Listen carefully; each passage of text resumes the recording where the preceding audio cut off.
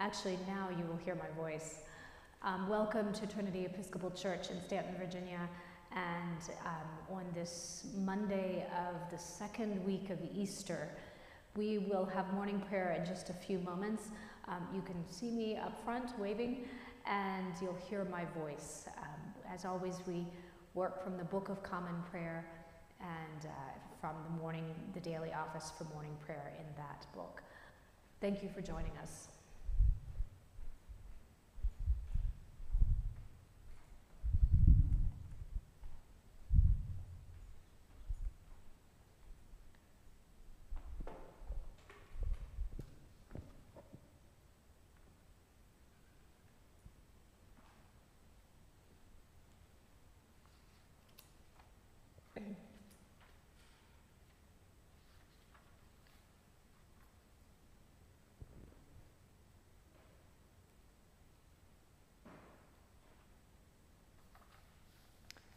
Let us begin on page 77 of the Book of Common Prayer.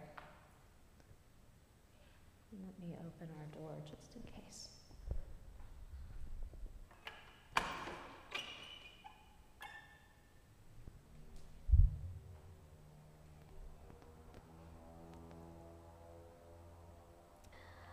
Alleluia, Christ is risen.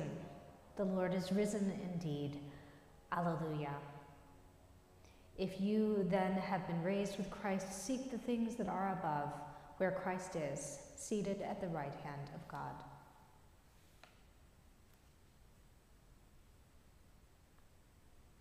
Grace to you and peace from our God, our Father, and the Lord Jesus Christ.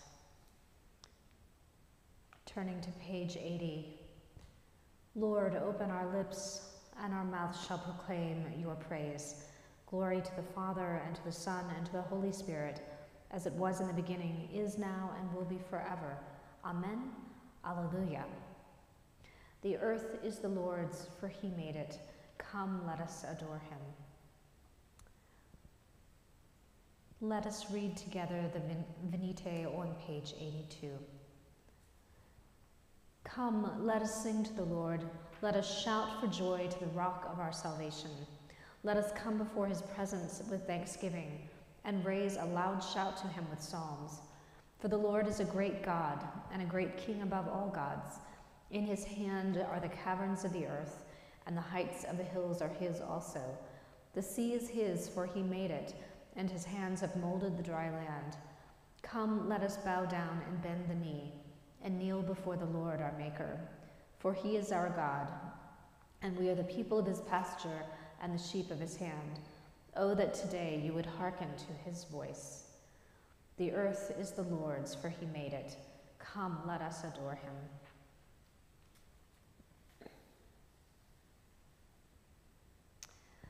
Our psalm appointed for this morning, actually, we have three of them, beginning on page 585 of the Book of Common Prayer and the Psalter. And those are Psalms 1, well, yes, 1, 2, and 3. Let us read together Psalm 1 and 3. Happy are they who have not walked in the counsel of the wicked, nor lingered in the way of sinners nor sat in the seats of the scornful. Their delight is in the law of the Lord, and they meditate on his law day and night. They are like trees planted by streams of water, bearing fruit in due season, with leaves that do not wither. Everything they do shall prosper. It is not so with the wicked. They are like chaff which the wind blows away. Therefore, the wicked shall not stand upright when judgment comes, nor the sinner in the counsel of the righteous. For the Lord knows the way of the righteous, but the way of the wicked is doomed. Let us read Psalm 2. Why are the nations in an uproar? Why do the peoples mutter empty threats? Why do the kings of the earth rise up in revolt and the princes plot together against the Lord and his, against his anointed? Let us break their yoke, they say. Let us cast off their bonds from us. He whose throne is in heaven is laughing. The Lord has them in derision. Then he speaks to them in his wrath, and his rage fills them with terror. I myself have set my king upon my holy hill of Zion. Let me announce the decree of the Lord. He said to me, You are my son. This day have I begotten you. Ask of me, and I will give you the nations for your inheritance, and the ends of the earth for your possession. You shall crush them with an iron rod, and shatter them like a piece of pottery. And now, you kings, be wise, be warned, you rulers of the earth. Submit to the Lord with fear, and with trembling bow before him, lest he be angry and you perish, for his wrath is quickly kindled. Happy are they all who take refuge in him. Glory to the Father, and to the Son, and to the Holy Spirit, as it was in the beginning, is now, and will be forever. Amen.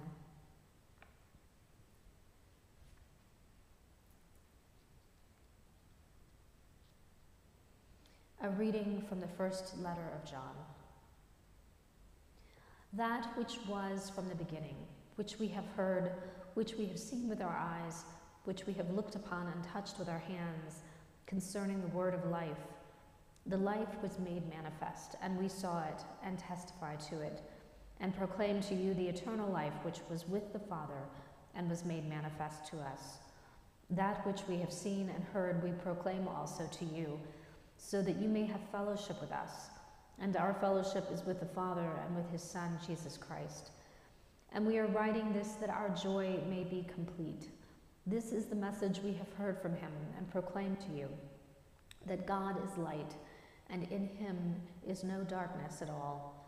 If we say we have fellowship with him while we walk in darkness, we lie and do not live according to the truth.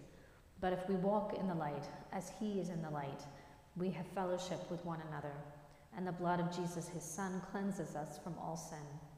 If we say we have no sin, we deceive ourselves, and truth is not in us.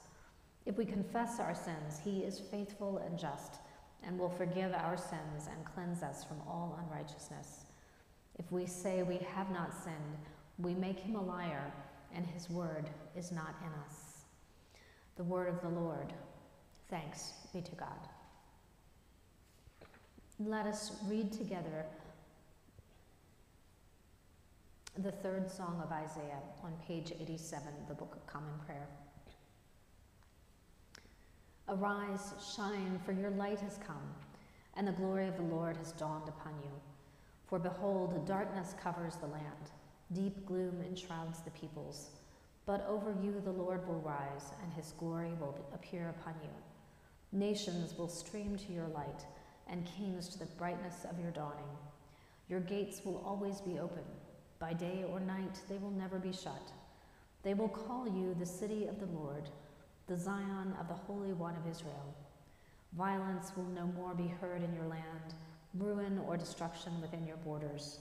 You will call your walls salvation, and all your portals praise. The sun will no more be your light by day. By night, you will not need the brightness of the moon. The Lord will be your everlasting light, and your God will be your glory. Glory to the Father, and to the Son, and to the Holy Spirit, as it was in the beginning, is now, and will be forever. Amen. A reading from the Gospel according to John.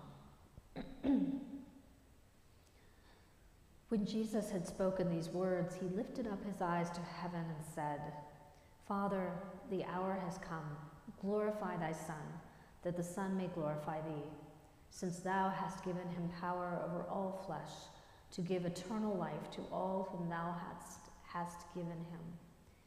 And this is eternal life, that they know thee, the only true God, and Jesus Christ, whom thou hast sent. I glorified thee on earth, having accomplished the work which thou gavest me to do.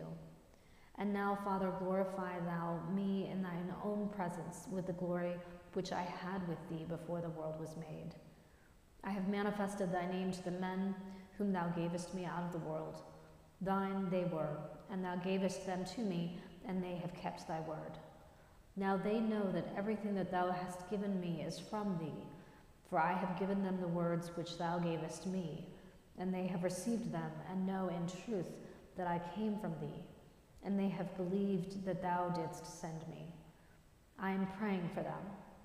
I am not praying for the world, but for those whom thou hast given me, for they are thine. All mine are thine, and thine are mine, and I am glorified in them. And now I am no more in the world, but they are in the world, and I am coming to thee. Holy Father, keep them in thy name, which thou hast given me, that they may be one, even as we are one. Here ends the lesson. Let us read together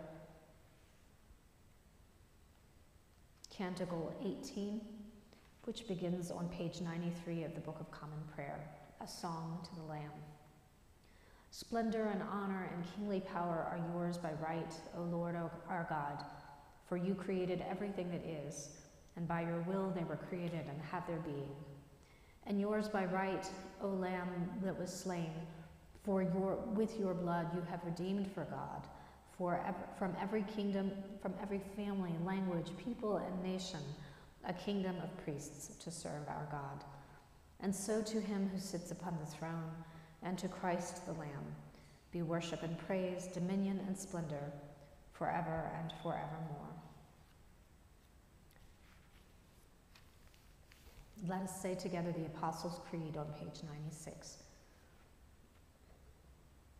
I believe in God, the Father Almighty, creator of heaven and earth. I believe in Jesus Christ, his only Son, our Lord, who he was conceived by the power of the Holy Spirit and born of the Virgin Mary. He suffered under Pontius Pilate, was crucified, died, and was buried. He descended to the dead. On the third day he rose again. He ascended into heaven and is seated at the right hand of the Father. He will come again to judge the living and the dead. I believe in the Holy Spirit, the holy Catholic Church, the communion of saints, the forgiveness of sins, the resurrection of the body, and the life everlasting. Amen. The Lord be with you. Let us pray.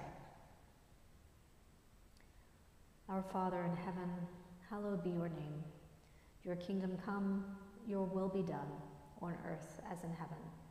Give us today our daily bread Forgive us our sins as we forgive those who sin against us. Save us from the time of trial and deliver us from evil. For the kingdom, the power, and the glory are yours, now and forever. Amen.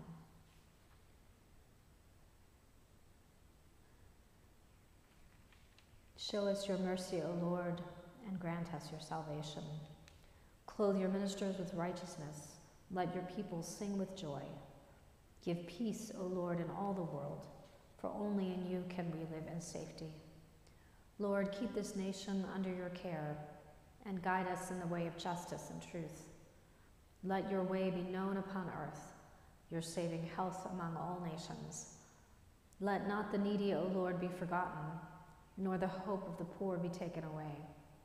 Create in us clean hearts, O God, and sustain us with your Holy Spirit. O God, the King eternal, whose light divides the day from the night and turns the shadow of death into the morning, drive far from us all wrong desires, incline our hearts to keep your law, and guide our feet into the way of peace, that having done your will with cheerfulness during the day, we may, when night comes, rejoice to give you thanks. Through Jesus Christ our Lord. Amen.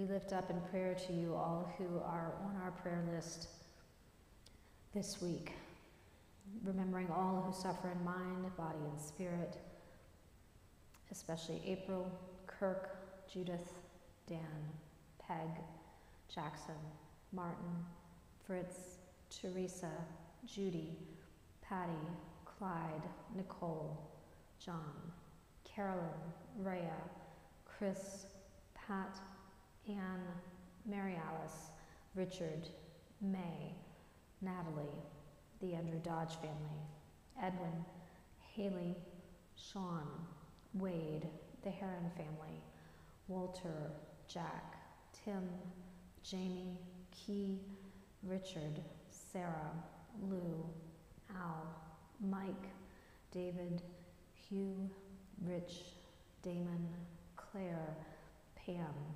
Mike, Grace, Alan, Michael, Tanner, Trey, Philip, Sarah, Trish, Anne, Jason, Joanne.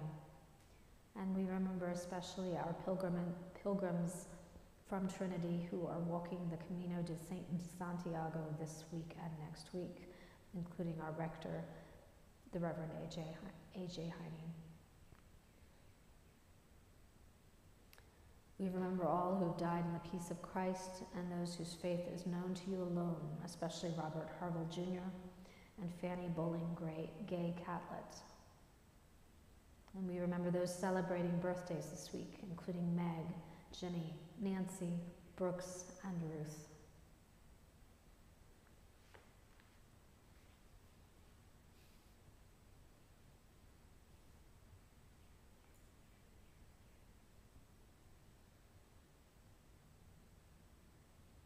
We lift up in prayer to you all places where there is conflict and violence, especially the Ukraine and Sudan.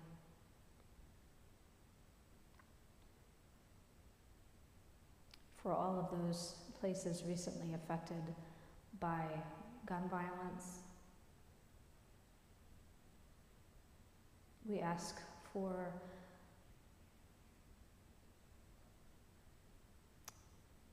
constant reminder of your grace and love as we celebrate these 50 days of Easter.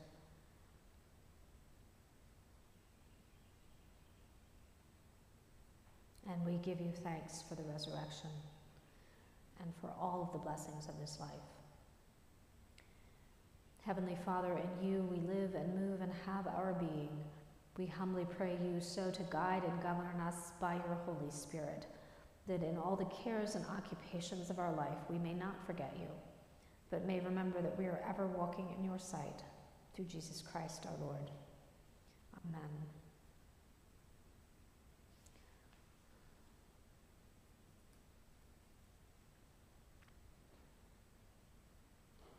Almighty and everlasting God, by whose Spirit the whole body of your faithful people is governed and sanctified Receive our supplications and prayers which we offer before you for all members of your holy church, that in their vocation and ministry they may truly and devoutly serve you.